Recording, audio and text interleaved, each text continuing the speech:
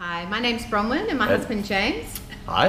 uh, we've been staying at Villa Seni. We're from Adelaide. Um, it's been absolutely amazing. The staff are brilliant. The location fantastic. Over to you. With the swimming pool here, that's been great. Great uh, being close to the beach and uh, in this area, lots of restaurants. We found the best. Uh, uh, what was that? Wacko Burgers. We've, Yeah. we've found great places, La Lucciola's, uh, Yeah.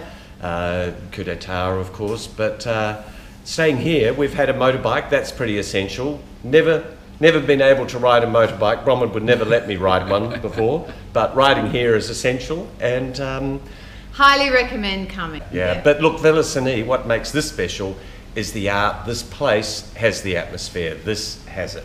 This is really good.